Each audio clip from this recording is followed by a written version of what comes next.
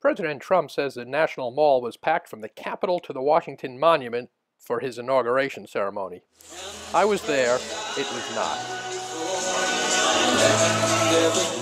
Tagging along with some kids from Hernandez Middle School in Round Rock, we got to the mall, oh, about three hours before the ceremony, and here they are laying out their tarp, sticking out the place from which they watched the ceremony.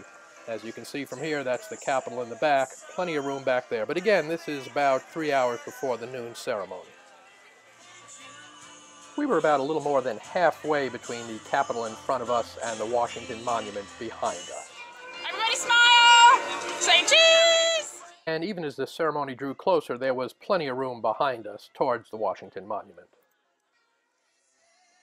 I didn't expect the crowd size to become such a controversy. If I had, I would have walked back there and shot video of the plenty of uh, empty space back there.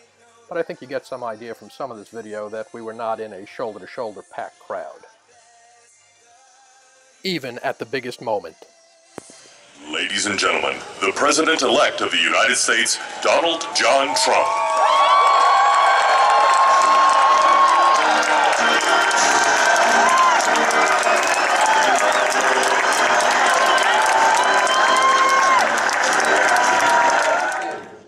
Preserve, protect, and defend the Constitution of the United States. the Constitution of the United States. So help me God. So help me God.